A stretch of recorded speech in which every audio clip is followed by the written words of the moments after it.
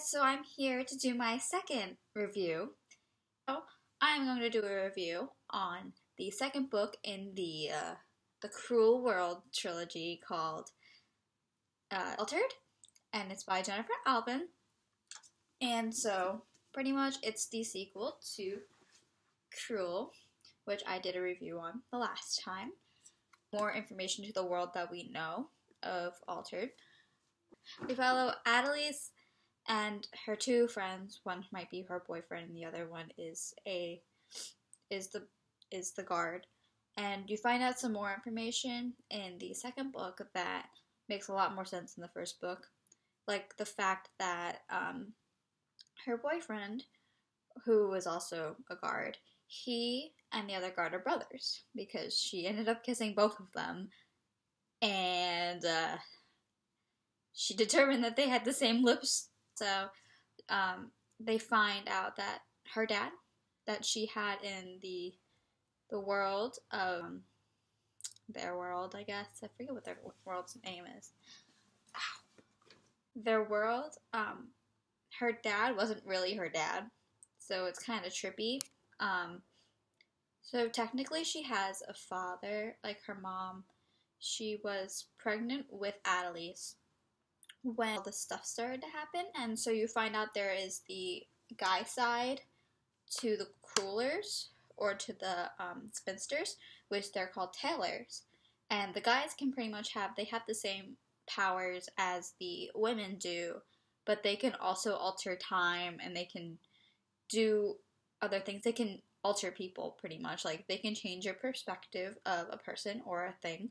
So Adelice eventually finds her real dad in this world, in just like a regular Earth world, where they're in like New York or somewhere that is broken down after this whole World War II happens and Hitler Hitler's involved, but we don't really want to talk about that.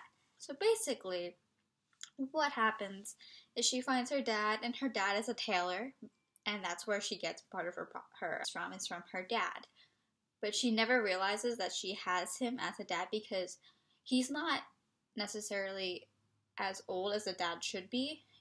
He is like he what happens is he pretty much ran away from the world that he met Alice's mom mom in.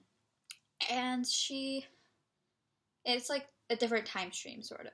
So like while her mom aged in the one world when the father ran away to the other world, they he never really aged as she as her mom did, so he didn't wasn't really aware that he had a daughter until there was like this mark on her wrist. I don't really know what it was called, um, or what it looked like, but when she showed him, he automatically knew that she was his daughter, and everything went to hell. But after that, pretty much you find out the guy that took them all in, I feel like his name is Dante. Oh, it's Kincaid. So Kincaid, he pretty much takes them all in from being like refugees, and um, it doesn't really go so well because you find out that Kincaid is working for both sides. So pretty much he's working for his own side, which is against the the Crewelers and the tailors and all that stuff in the other world. And then he's also working just alone. And that kind of was a mix up because they, no one knew about it. So it was kind of hard for everybody to understand. And I mean, it was kind of hard for me to understand too because I was like, Kincaid, what the hell are you doing? You need to either save these people or kill them because you're not making any sense.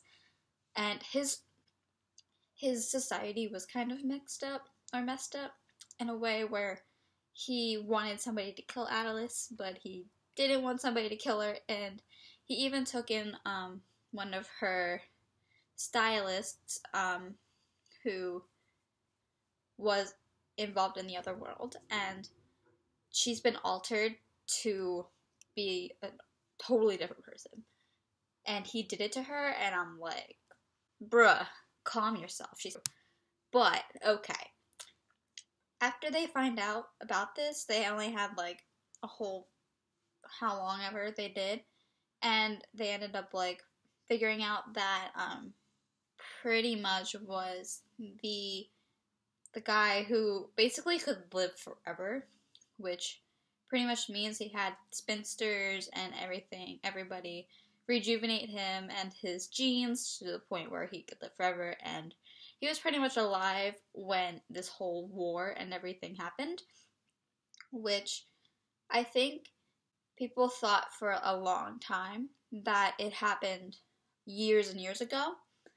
But what happened was that people on Earth, they really know that it only happened not that long ago, which I think it was only three or four, maybe three or four days, or it's a really big time jump, but three or four days or a year. I'm not completely sure, but um, it was completely weird because I, I don't know, like people were like, "How am I alive?" Like it's been years, and it wasn't. It was only a few days when this happened, but it made it seem like it was hundreds of years because of all this new technology that they had.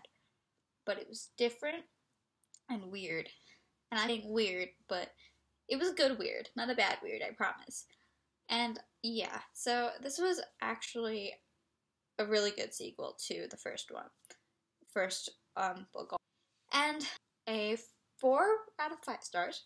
Um, I don't think that was what I really gave it on Goodreads, but I'm just gonna say four out of five stars just because I need to get this video out of the way because it's the last day of the year and I need to make another video because I need to make my favorite books of 2015 and this one. So, yeah, that's pretty much all I'm gonna say. So, if you are any anyhow swayed by how I reviewed this book, you can go and read this. It's actually really, really good. Um, it's all later. So, bye!